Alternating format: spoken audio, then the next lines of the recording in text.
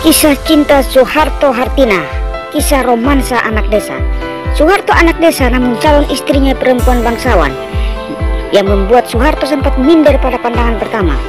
Suatu hari di tahun 1947 Prawiro Harjo dan istrinya datang ke Wuruyentoro Wonogiri 40 km ke arah tengah Solo Untuk mengunjungi sanak saudaranya di sana. Keponakan sekaligus anak angkat mereka Soeharto datang menemuinya membincangkan berbagai hal termasuk menanyakan rencana apa yang akan dilakukan Soeharto ke depannya. Percakapan kami pada mulanya menyangkut hal-hal yang biasa saja. Tetapi tak lama setelah itu muncul pertanyaan yang tidak saya sangka kata Soeharto yang saat itu berusia 26 tahun dalam autobiografinya ucapan pikiran dan tindakan saya.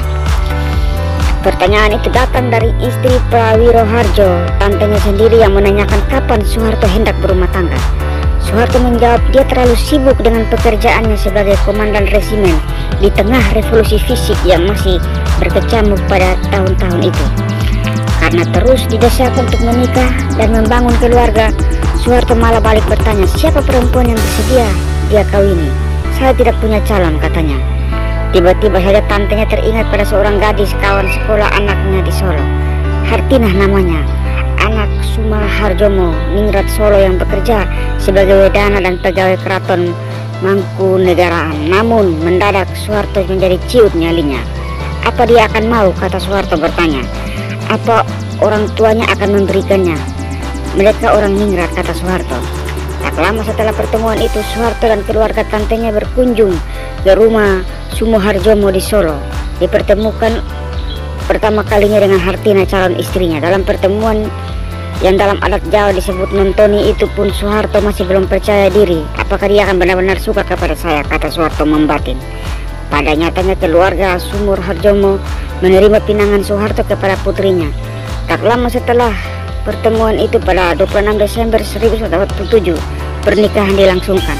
Artinya berusia 24 tahun dan Soeharto berusia 26 tahun ketika mereka menikah Hubungan cinta dua sejoli yang berbeda latar belakang satu sosial itu diuntungkan oleh situasi revolusi. Keraguan Soeharto akan satu sosialnya di hadapan keluarga calon mertuanya sangat beralasan. Soeharto datang dari desa, anak keluarga petani yang tak punya status atau relasi apa pun dengan pihak keraton. Namun zaman revolusi memungkinkan seorang pemuda desa seperti Soeharto memiliki pamor karena berkecimpung sebagai perwira militer yang memiliki tempat terhormat pada masa itu. Kendati bukan priai, Soeharto bisa meniti karir sebagai tentara di tengah tekanan masyarakat yang mulai berubah akibat revolusi. Gambaran Soeharto berbeda di mata calon mertuanya. Selain itu tuh, karena hubungan dekat keluarga pamannya dengan keluarga Hartini lebih memperkuat keuntungan bagi Soeharto. Alhasil perkawinan kami didahului dengan cinta-cintaan seperti yang dialami anak muda 80-an waktu itu. Kami berpegang pada pepatah, datangnya cinta karena bergaul dari dekat. Hubungan cinta Soeharto dengan Hartina atau kelak dikenal sebagai panggilan Ibu Tin itu memang sepi dari gosip. Kecuali satu dua desas-desus tentang hubungan Soeharto dengan perempuan lain yang sampai hari ini pun tidak jelas duduk perkaranya. Bahwasanya suka terjadi cekcok antara suami istri itu adalah manusiawi